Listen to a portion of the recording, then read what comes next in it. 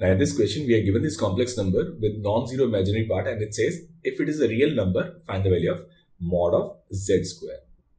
Now we know that any complex number w will be purely real if w equals w bar.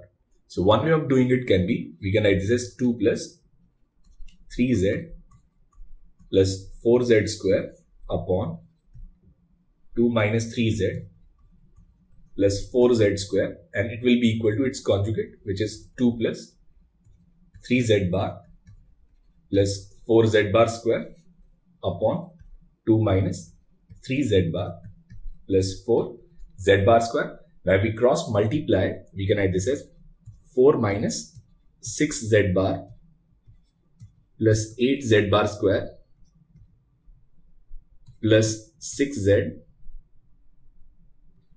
minus 9 z into z bar is mod of z square plus 12 z z bar square plus 8z square 12 z bar z square plus 16 z square z bar square. And it will be equal to now this is 4 plus 6z bar plus 8 z bar square minus 6z minus 9 z z bar is mod of z square minus 12 z into z bar square 8 z square 12 z square z bar 16 z square mod of z square. Now this 4 it will cancel 8 z bar square will cancel. 9 mod z square will cancel. 8 z square will cancel. 16 z square z bar square it will cancel. So what we'll get is we'll get 2 times 6z minus 6z bar plus 12. Now z into z bar is mod of z square. 12 mod of z square into z bar minus 12 and here it will be mod of z square into z and it will be equal to 0. Now we'll take the 6 common. So it will be this 6 z minus z bar and here we'll take 12 mod of z square common and there'll be z square minus z equals 0. Now we'll take z minus z bar common and here it will be 6 minus 12 mod of z square equals 0. Now either z is equal to z bar or mod of z square equals 1 by 2. Now this condition means z is purely real but in the question it says it has non-zero imaginary part so it is not possible. So the only condition possible is value of mod z square is 1 by 2 which is 0.5.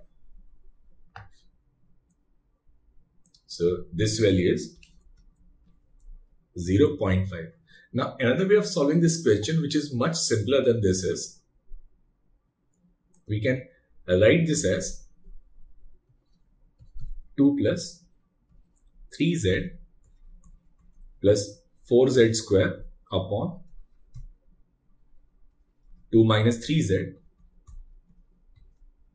plus 4z square. Now this is purely real. Now what we'll do is we'll subtract 3z and we'll add 3z.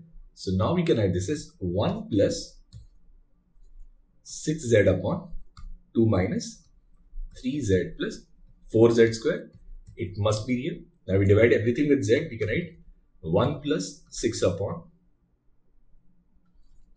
2 upon z plus 4z minus 3 it should be real. Now 1 is real, everything is real. This expression, it will be real if 2 upon z plus 4z is real. So that means we get a simpler condition which is 2 upon z plus 4z, it must be real. Now if it is real, then again w equals w bar. So we can write 2 upon z plus 4z, it should be equal to 2 upon z bar plus 4 z bar. Now we'll take 2 on the left hand side and 4 on the right hand side. So it will be this 2 and here it will be z bar minus z upon z z bar and here this is 4 z bar minus z. Now z is not equal to z bar so we can cancel it. So from here again we can write mod of z square equals 1 by 2 which is 0 0.5.